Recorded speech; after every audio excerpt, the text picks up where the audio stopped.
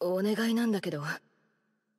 私が何回も聞いてることもう一回答えてくれない？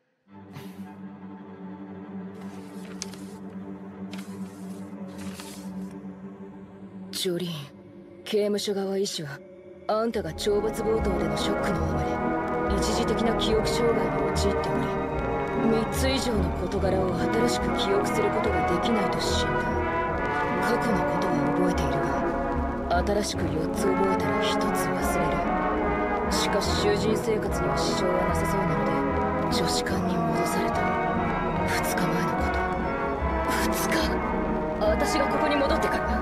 早く元気になってね。ジョリーン2日も。私は2日も同じことを質問していた